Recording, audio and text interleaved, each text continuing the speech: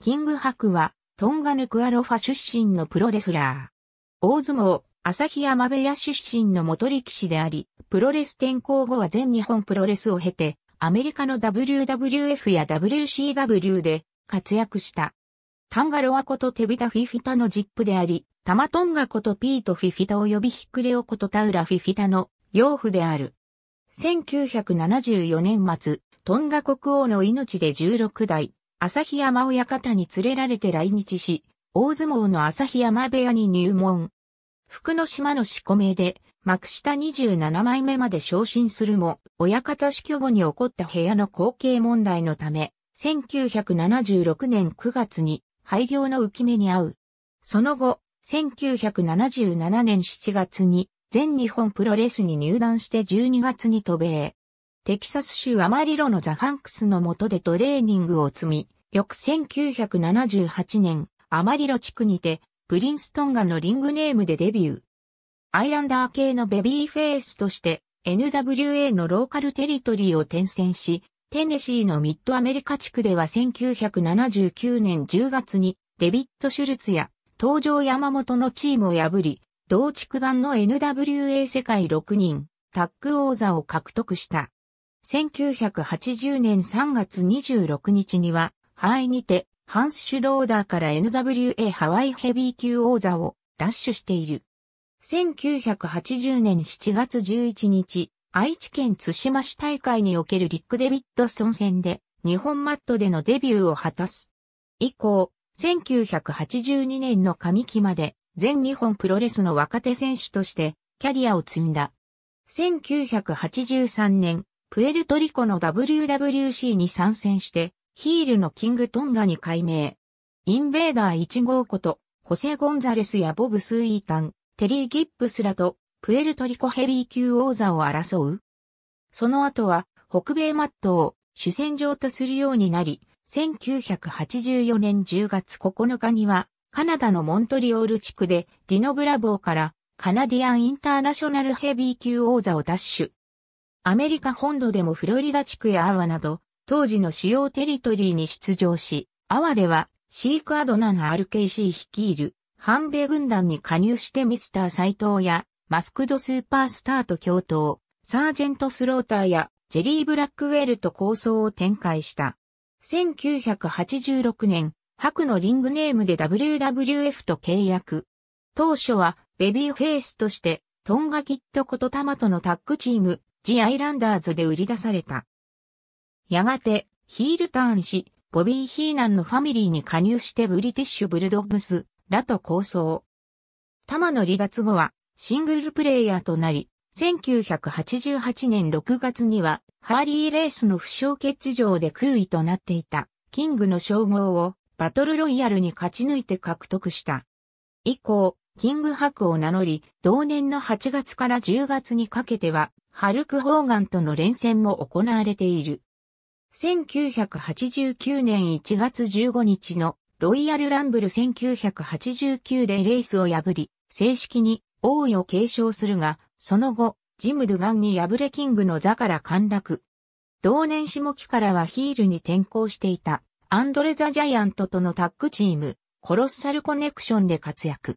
12月13日には、アラバマ州ハンツビルにて、アックススマッシュのデモリッションから WWF 世界タッグ王座を奪取した。1990年4月、日米レスリングサミットへの参戦で久々に日本に登場。ジャンボ・ツルダと組んでカート・ヘニングリック・マーテルから勝利を収めた。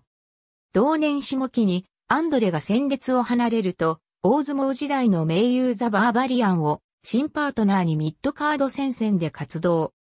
1992年は当時 WWF と提携していた日本の SWS を主戦場に谷津義明とナチュラルパワーズなるチームを結成。天竜源一郎アシュラ、原野達春法とタッグ王座を争う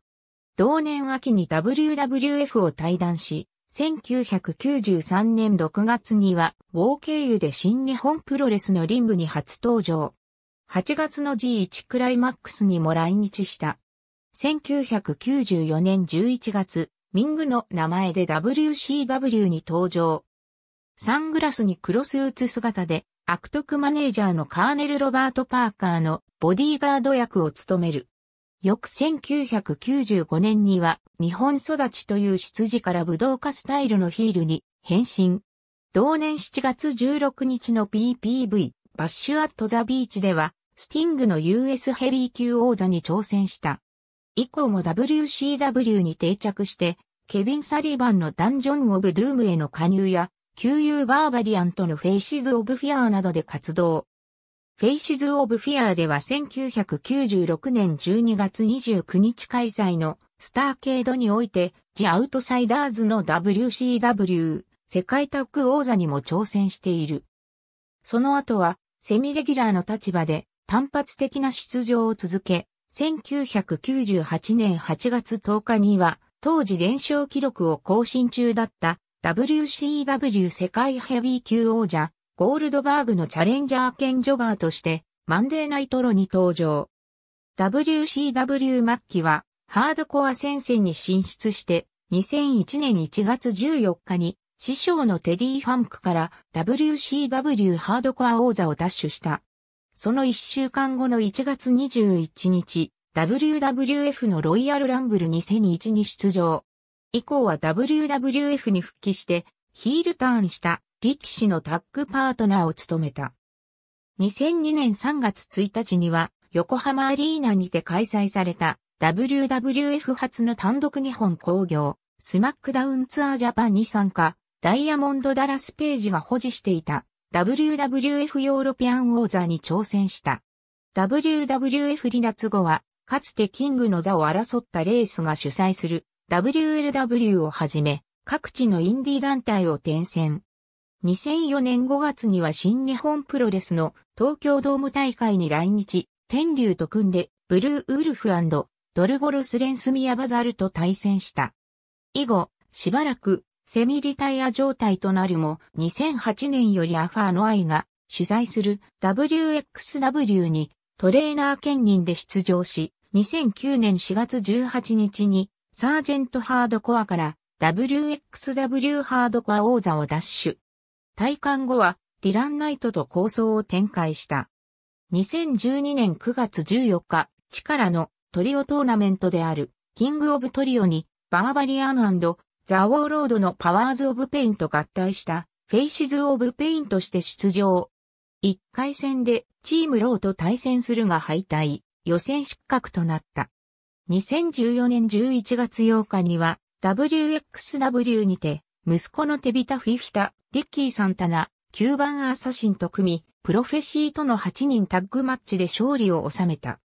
同月29日、リユニオンイベントレッセルケイド2014にて、バーバリアンとのフェイシズ・オブ・フィアを再結成、スタイナー・ブラザーズ、ロックンロール・エクスプレス、トム・プリチャードジョージ・サウスといった往年のスーパースター同士によるフェイタル4ウェイ式タッグマッチに出場した。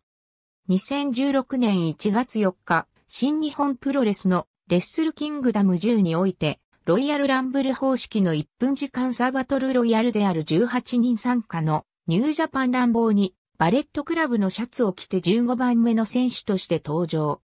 長田博士がエプロン越しに小島聡にスリーパーホールドをかけているところを背後からのタックルで長田をリング下に落として退場させ、直後に小島をも投げ捨てる活躍を見せたが、天山広吉のアナコンダバイスに屈して10番目の失格となった。試合後のインタビューでは、新日本プロレスに戻れた喜びと引退した天龍への惜別のコメントを伝えた。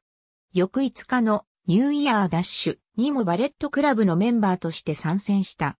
同年11月12日には新日本プロレスがニュージーランドのオークランドにて開催したチャリティ興行に出場、息子たちとトリオを組んでの6人タッグマッチで勝利を収めた。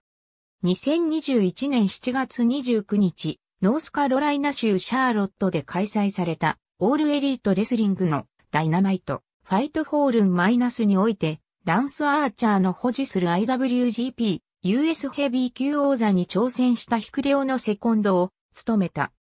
ストリートファイトにも強く、WWF を共にサーキットしたダイナマイトキットの次長には、バーで同席していた女性を執拗に侮辱したジミー・ジャック・ファンクが白に叩きのめされたエピソードが書かれている。船木正勝も自身の YouTube チャンネルで白の武勇伝を語っており、普段は温厚で優しいが怒ると止められない。字には相手の目に指を入れることもあったと聞いているなどと証言した。このエピソードについて、タイガー古校は、白がオレゴン地区で試合をしていた際、酒に酔った現地のプロモーターの息子が、白のガールフレンドの車の上に飛び乗ってジャンプしたために、その男の目を抜こうとしたと証言している。中西学はアメリカのプロレス会場で暴動が起きた際、白が大立ち回りを行い、警備員に催涙スプレーを噴霧されても全然効かなかったという逸話を著書の中で記述している。ザグレート歌舞伎は新日本プロレス参戦時に六本木でリック・フレアーらと飲んでいた白が路上で大柄な外国人に因縁をつけられ、いきなり殴りかかられたので、その男をショーウィンドウの中に放り投げたエピソードを語っている。戸口は、主壁が悪いわけではなく、加減を知らない。普段はとても恩和、歌舞伎は、だからこそ、怖いと、それぞれ白を評した。プリンストンガに関するカテゴリー、キングトンガに関するカテゴリー、ミングに関するカテゴリー。ありがとうございます。